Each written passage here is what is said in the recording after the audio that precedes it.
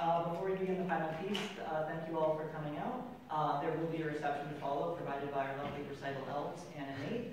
Uh, and I also wanted to thank Scott Schwartz of the Sousa Archives uh, for uh, allowing for the restoration and the use of this basset horn, which is over a century old. So, much fun. and now some